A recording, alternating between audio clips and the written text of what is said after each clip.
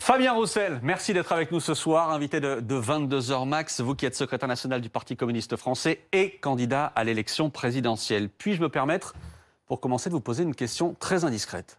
Allez-y. Quel vaccin avez-vous reçu? Le Pfizer. Le Pfizer. Je vous pose cette question et votre réponse tombe très bien parce que ce matin, vous avez dit des choses qui, à mon sens, posent problème, un certain nombre de problèmes. C'était sur France Inter. On vous écoute comment on fait pour que tout le monde ait accès à ces vaccins? Parce qu'on aura toujours des variants tant que nous ne sommes pas tous hmm. vaccinés. Et donc, se battre pour lever les brevets, pour qu'il y ait les transferts de technologie, pour que l'on construise euh, des, sites de production de ces vaccins en Afrique, euh, en, Inde, en Asie, euh, où des pays aujourd'hui viennent supplier, demander à ce qu'on leur donne des vaccins avec des Pfizer qui vont gagner 36 milliards de dollars de bénéfices sur leurs vaccins qu'ils vendent euh, trois fois, quatre fois leur prix. Mais c'est honteux. Ces gars-là, ils devraient être au tribunal euh, pour crime contre l'humanité un jour. Ces gars-là, les gars de Pfizer, devraient être au tribunal pour crime contre l'humanité un jour. Est-ce que vous maintenez ces propos? Je maintiens euh, que les actionnaires de ces grands groupes, et je parle bien des actionnaires, de ceux qui dirigent ces grands groupes, pourraient demain être convoqués devant un tribunal international euh, c'est prévu dans la convention de la charte de l'ONU. Euh, le Conseil de sécurité peut décider de euh, convoquer un tribunal international quand il y a une violation du droit international et là des droits humanitaires. Il pourrait être convoqué devant un tribunal international quand aujourd'hui des pays de nombreux pays, une centaine de pays, demandent à ce que les brevets soient levés et que les transferts de technologie puissent s'opérer pour que dans ces pays, on puisse produire des vaccins librement.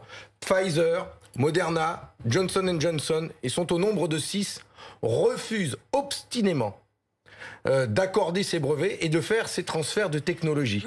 C'est c'est un crime contre l'humanité. Et donc c'est d'une extrême gravité. Il y a 5 millions de personnes qui ont perdu la vie. Et donc je dis que l'histoire tranchera. Peut-être que dans quelques années, on dira euh, qu'il porte une responsabilité lourde, énorme, dans le fait que des, des peuples, des pays entiers n'ont pas eu accès au vaccin en Vous vous rendez compte, Fabien Roussel, que vous accusez les actionnaires de Pfizer, qui ont donc investi dans une boîte qui elle-même a investi pour trouver un vaccin, qui a trouvé le vaccin sans doute le plus robuste aujourd'hui. 2,3 milliards de doses de vaccins euh, de Pfizer injectés dans le monde, mais qui ont des, vaccins qui ont sauvé la vie. J'ai déjà eu l'occasion de saluer l'énorme euh, travail et euh, le travail des chercheurs, des scientifiques, qui ont réussi une véritable prouesse technologique, de trouver en quelques mois le vaccin qui a pu nous protéger, de faire les tests pour pouvoir l'homologuer aussi rapidement possible. je rappelle, ça a un coût. Je rappelle, le risque a un coût. Monsieur Switek, enfin ne soyez pas naïf, vous savez très bien, comme moi, que toutes ces entreprises, toutes ces big pharma ont reçu des milliards d'euros d'aide publique de la part de pays, la France, de la part de d'institutions comme l'Union européenne, de la part des États-Unis, ils ont été gavés d'argent public pour que justement ces euh, recherches aillent au plus vite. C'est une réalité. Un jour, il faudra bien qu'on fasse les comptes, mais c'est en milliards de dollars qu'ils ont perçu des aides publiques pour justement aller vite, pour agrandir leurs capacités industrielles,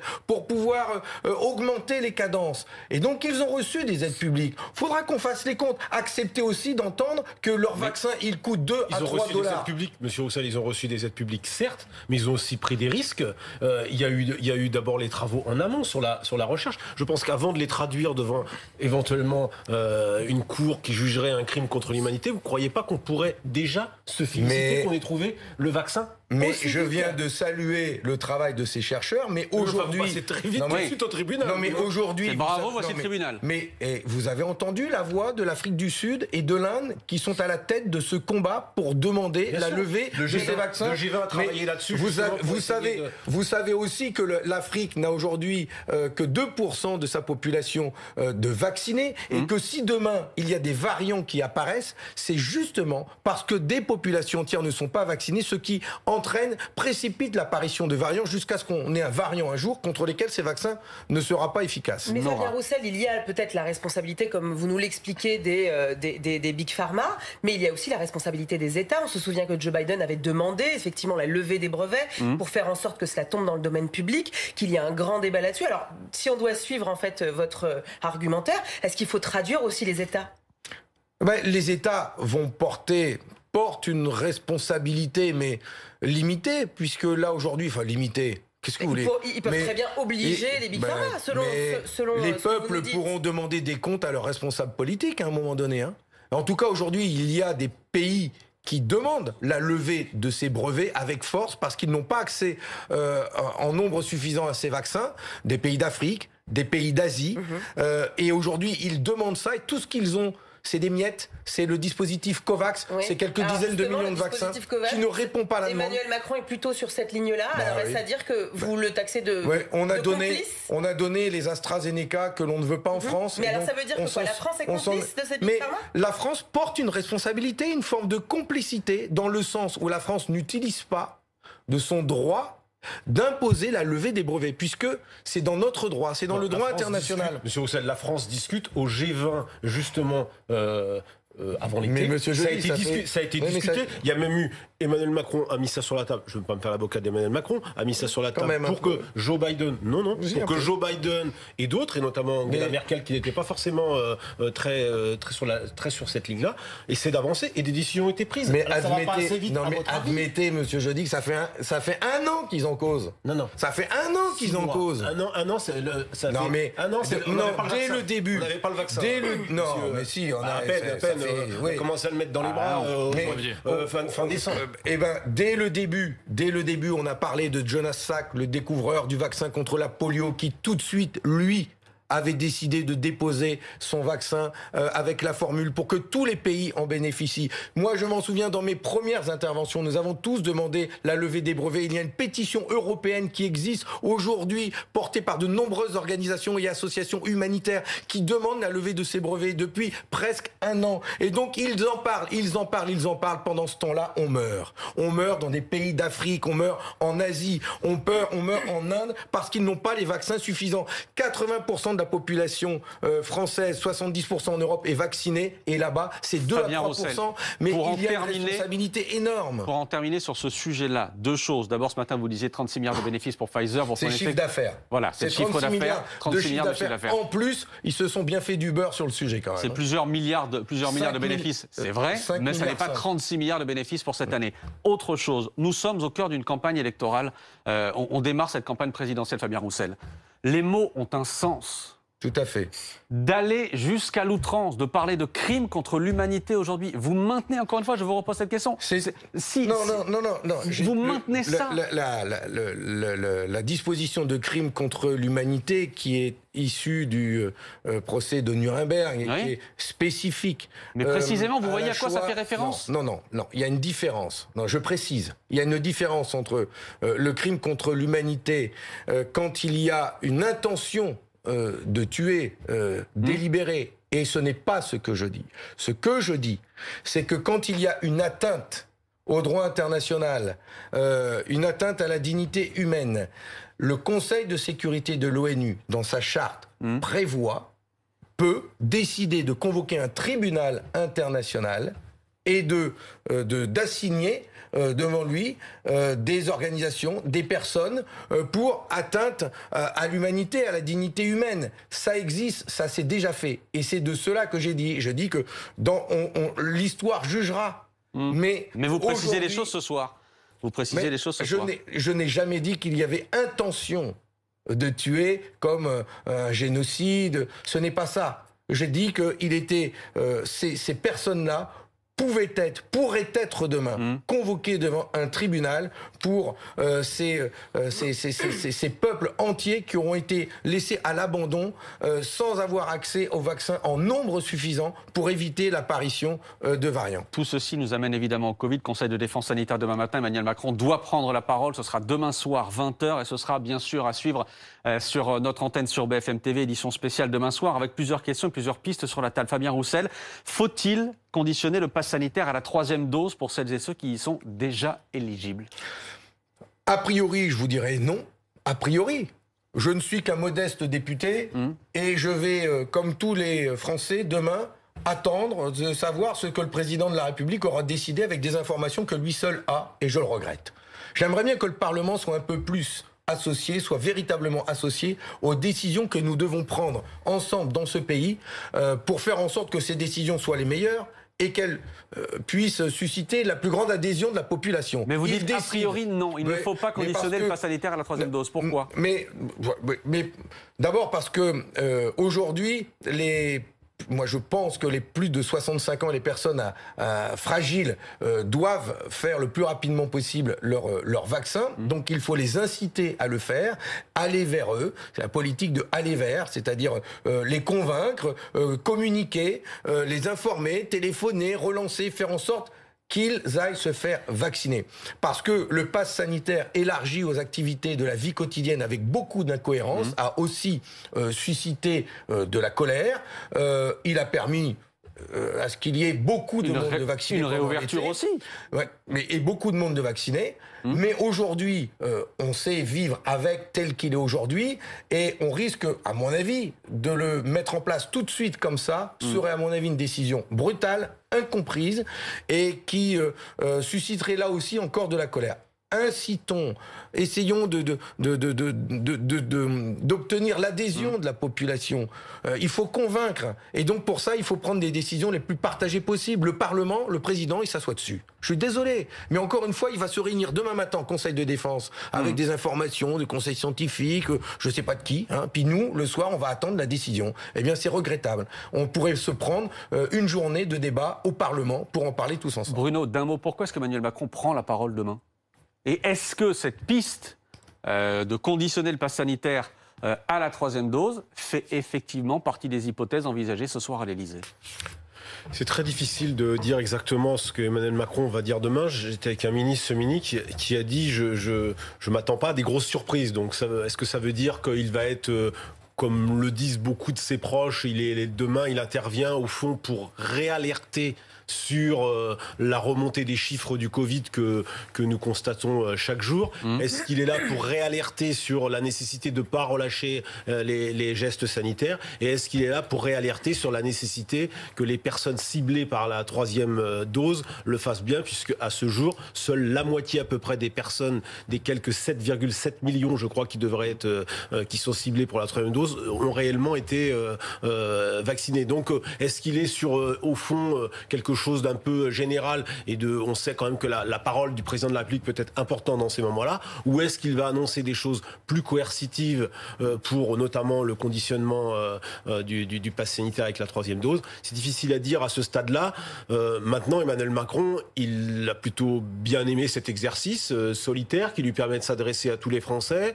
On peut dire aussi qu'il y a un peu de politique, il y a le choix de la date, le 9 déce- le 9 euh, le 9 novembre, jour de la mort du général de Gaulle. Il parlera pas que de crise sanitaire demain. Il y aura aussi un petit peu de politique et surtout, euh, comment dire, on est à moins de six mois de la fin de la présidentielle. C'est un moment forcément compliqué pour un président sortant qui doit quand même montrer qu'il fait encore des choses, même si on sait bien qu'il n'y a plus réellement de réformes qui seront enclenchées euh, si près du but. Emmanuel Macron qui doit aussi demain faire un point sur les dernières réformes du quinquennat. La réforme des retraites, ce serait impensable. Fabien Roussel. Bah oui, mais enfin, on est à six mois de l'élection présidentielle. Vous l'avez vu, vous, Emmanuel Macron, il vous a dit qu'il allait la faire ou pas? Je peux pas vous dire. mais non, mais je lui ai posé la question. Mais moi, je lui ai dit. Mais quand j'ai quand j'ai parlé avec le président de la République, la première chose que je lui ai demandé, c'est d'augmenter tout de suite les pensions. Tout de suite, moi, j'attends ce que demain, il parle aussi du pouvoir d'achat et qu'il prenne des mesures. Et, quand, et je lui ai dit, il faut, il faut augmenter les retraites tout de suite, là maintenant, pas une retraite en dessous de 1200 euros. Et il m'a dit, ça va coûter un bras. Bah oui, mais j'ai dit, mais ça, il voulait, faire la, il voulait faire les pensions minimales à 1000 euros. Oui, mais en même temps, nous demandons de les payer, en nous demandant de travailler plus longtemps. Voilà. Nous, ce que nous demandons, c'est est-ce que euh, nous puissions travailler moins pour travailler tous, qu'il n'y ait plus personne au chômage et chacun avec une bonne retraite. Et pour ça, on fait participer le capital avec une cotisation révolutionnaire. C'est le changement de monde, le changement de monde, euh, Monsieur Jeudi. Ça coûterait un Et bras ça, aussi, hein. c'est possible aussi. Oui, mais ça coûterait pas aux mêmes, parce qu'aujourd'hui, c'est toujours les mêmes qui payent. Et ça serait bien que ce soit un peu le capital qui paye. Fabien Roussel, on voulait vous entendre ce soir sur les propos tenus par un de vos concurrents à gauche, Arnaud Montebourg, qui pense avoir trouvé la solution pour faire pression sur les pays qui refuse de reprendre le ressortissant expulsé de France. Arnaud Montebourg veut tout simplement bloquer les transferts d'argent, comme les transferts Western Union, vers ces pays. Euh, Nelson Jetten, vous avez enquêté sur cette proposition-là, qui a provoqué un tollé à gauche. Qu'a dit précisément Arnaud Montebourg? Qui s'est à nouveau expliqué ce soir. voilà la phrase exacte prononcée hier par Arnaud Montebourg. Je propose de bloquer les transferts d'argent particuliers vers les pays qui ne nous aident pas à appliquer les obligations de quitter le territoire français. On connaissait Arnaud Montebourg pour la remontada. C'était plutôt la rétropélada, la rétropélada tout à l'heure sur LCP. Je me suis fait engueuler. Par qui? Par des gens que j'aime. Des, des, des gens que j'aime parce que moi aussi, j'ai des origines dans l'immigration, comme beaucoup de Français. Hein et je, j'ai compris que je m'étais mal exprimé. C'est au sens où je ne me suis pas fait comprendre de la véritable cible. La cible, ce sont les États. Vous nous direz tout à l'heure, Fabien Roussel, si c'était trop tard pour le rétropédalage. En attendant, on va s'y intéresser à cette proposition. Pour faire simple, vous l'avez dit, Arnaud Montebourg souhaite bloquer l'argent que les immigrés ou les enfants d'immigrés envoient à leur famille, notamment en Afrique. Mhm. Marine Le Pen avant lui, mais également Éric Zemmour l'avait proposé. Le polémiste a d'ailleurs réagi avec une pointe de sarcasme hier sur Twitter. Regardez, en panne d'idées, Arnaud Montebourg a regardé en replay les vidéos de ma chaîne YouTube. Bravo Arnaud, félicitations. Nelson, est-ce que c'est tout simplement légal de bloquer ces transferts d'argent? Oui, légalement, l'État peut bloquer des transferts d'argent vers d'autres pays, mais dans des conditions très particulières. Ce qui serait possible de faire, cela s'appelle un gel des avoirs. Il peut être décidé par le gouvernement auprès d'un établissement de transfert ou une banque. On a rencontré Gérard Haas, un avocat qui a travaillé sur le gel des avoirs. Il nous en a détaillé les conditions. Ce gel des avoirs ou des fonds n'est prévu que dans des circonstances tout à fait particulières lorsque la nation est en danger. Et il faut, par exemple, des actes de terrorisme, des problèmes sur les droits humains, des problèmes sur les armes chimiques, etc. Donc ce qui fait que la proposition est totalement disproportionnée. Donc ça a très peu de chances d'arriver euh, au bout, finalement. Je pense que c'est une euh, mesure qui euh, a l'intérêt de poser des questions mais je pense que c'est peut-être pas la bonne voie. Voilà, pas la bonne voie pour Maître Haas, d'autant que les 11 milliards envoyés par les personnes immigrées ou issues de l'immigration rapportent indirectement à la France, et c'est ce que nous a expliqué Samir Bouzidi, spécialiste des diasporas africaines. 80-90%, c'est ce qu'on appelle la consommation délocalisée. Donc c'est de l'entraide familiale. Cet argent-là euh, va euh, sert à la consommation, l'automobile, la distribution avec euh, Carrefour, Auchan par exemple. C'est tous ces groupes français qui pèsent 80 milliards en Afrique, qui sont quand même sur des positions confortables, en profitent, en profitent indirectement. Mm. Voilà, cette proposition est très compliquée à mettre en place juridiquement et pourrait finalement faire mal au portefeuille français. Et qui fait mal aussi ce soir dans le camp d'Arnaud Montebourg. Je vous donne cette information qu'on me transmet à l'instant. Les jeunes avec Montebourg, c'est-à-dire les, jeunes militants d'Arnaud Montebourg, se mettent en retrait ce soir de sa campagne électorale à la suite de ses propos. Euh, comment vous réagissez, Fabien Roussel, à cette proposition d'Arnaud Montebourg? Même si ce soir, bon, euh, il rétropédale et il dit non mais j'ai pas dit ce que j'ai dit. Bah, c'est une, une très très très mauvaise idée et c'est même pas amendable c'est euh, c'est pas acceptable, euh, en tout cas à gauche, euh, de, de proposer euh, une telle idée. Euh, il propose de pénaliser des petites gens qui n'ont rien à faire dans cette dans cette histoire-là, et, et c'est eux qui paieraient les pots cassés de mauvaises relations entre des chefs d'État et des gouvernements. S'il y a des avoirs à geler, c'est pas ceux des petites gens, c'est ceux des, des, dirigeants de ces pays. Si on a des problèmes avec eux, et si on est en capacité, ce qu'il a dit ce soir sur LCP pour et revenir si on, sur Et si on est en capacité de bloquer des flux financiers, euh, bloquons les flux financiers des multinationales qui vont euh, mettre leurs avoirs dans les paradis fiscaux. Là, par mm. contre, on aurait une efficacité immédiate. Mais c'est un autre sujet. En tout cas, c'est une très mauvaise idée euh, et je comprends pas qu'il ait sorti ça. on, l'a vu, certains à l'extrême droite avaient déjà proposé, proposé cette idée, notamment Éric Zemmour. Est-ce qu'Éric Zemmour n'est pas en train de rendre fou certains candidats à la présidentielle? Bon, bah, je sais pas, non, je pense pas. Éric Zemmour euh, est euh, un représentant de l'extrême droite euh, la plus crasse. Euh, qui réhabilite euh, Pétain, euh, qui réveille donc l'histoire de France la, la, plus sombre, et c'est tout. Donc je, je, je c'est pour ça que je comprends pas qu'il puisse faire de telles mm. propositions. Enfin voilà, c'est dramatique. Mm. Mais peut-être Fabien Roussel pour revenir sur la problématique justement de ces pays qui ne veulent pas en fait voir revenir leurs ressortissants qui sont sous le coup d'obligation de quitter le territoire français Qu'est-ce qu'on peut mettre en place? Est-ce que, par exemple, ce qu'a mis en place le président de la République euh, vis-à-vis de certains pays, c'est-à-dire une limitation du nombre de visas accordés en fait aux familles, pour vous, ça vous semble une bonne idée? Même celle-là même celle-là n'est pas une bonne idée. Parce que c'est aussi une forme de punition collective que l'on applique à des gens. Que ce soit euh, en voulant taxer euh, euh, les quelques centaines d'euros qu'ils envoient au pays, ou que ce soit en empêchant euh, leur famille euh, euh, de leur rendre visite. Oui, Mais là, c'est Ce une pression sur les ce États. C'est pour que les. États acceptent de prendre de- à, à leur compte les, les- une les gens qui sont obligés de quitter le territoire. Ouais, mais c'est une punition collective en, en refusant d'accorder des visas à des gens qui veulent venir ici, qui n'y sont pour rien dans cette histoire qui se passe. Enfin, ils s'adressent. c'est bah leur oui. gouvernement Mais qui, quel- euh, ouais, mais pas- comment on se fait pour s'en prendre à ces gouvernements justement à faire pression pression, sur eux. à faire pression sur eux Mais on fait pas pression sur eux, on fait pression sur les gens. C'est pas les visas. Enfin, je sais pas quel visa il. S'il interdit de visa euh, euh, les dirigeants euh, de ces pays, euh, s'il interdit de visa euh, les responsables économiques de ces pays, peut-être que là, ça embêtera plus. Mais c'est parce que. Mais l'idée, c'est que le peuple, ensuite, Mais qui est privé de ses visas, fasse je- pression sur les dirigeants. C'est l'idée. mais Enfin, ouais, mais non, mais c'est c'est pas. Enfin, là, encore une fois, c'est les petites gens qui payent. Mm. D'où qu'ils viennent. Euh, et je reviens à la discussion du début. Ils ont non seulement pas de vaccin, mais euh, ils seront taxés au porte-monnaie. Ils n'auront pas de visa. Et ça va aller jusqu'où euh, dans ces pays d'Afrique? On va leur mettre la tête sous l'eau combien de temps Qu'on s'attaque à ces dirigeants qui, parfois, on le sait, sont sont ceux qui détournent les, les aides Mm. qu'on peut leur faire, qui sont pris dans la corruption, qui sont qui planquent leurs avoirs dans des paradis fiscaux. Enfin, quand même, on peut aller gratter un petit peu, ou alors on est vraiment nul, quoi. Une question encore, Fabien Roussel. Vous êtes donné aujourd'hui à 2%, euh, de 2% dans, dans les sondages. Euh, euh, tout le monde se dit qu'avec, par exemple, les thèmes de pouvoir d'achat comme euh, thème majeur de préoccupation de la part des Français, vous auriez à gauche un boulevard. Qu'est-ce qui empêche aujourd'hui de vous unir? Est-ce que les différences sont telles, et peut-être qu'on en a vu un exemple ce soir avec Alain Montebourg, que toute union est impossible? Mais en tout cas, euh, je souhaite et j'aspire à l'union euh, du peuple de France, euh, de rassembler le monde du travail, qui est aujourd'hui fracturé, divisé par des candidatures d'extrême droite qui fait tout pour nous opposer entre nous, et entre candidats à gauche. nous avons des différences qui fait que, bah, excusez-moi, enfin moi j'essaye de porter une gauche qui a le courage de prendre des sujets que personne n'a pris jusqu'à maintenant. Euh, j'ai traité de la sécurité, euh, j'ai traité euh, euh, de l'énergie nucléaire et du mix énergétique pour Vous êtes répondre au pouvoir d'achat des Français. Euh, j'ai traité de la vaccination, euh, j'ai appelé largement à la vaccination. Mhm. J'étais un, un des rares quand même responsables politiques à le faire. Euh, je me bats pour l'universalisme de nos combats, euh, pour faire reculer toute forme de discrimination, mais sans faire de séparatisme en la matière.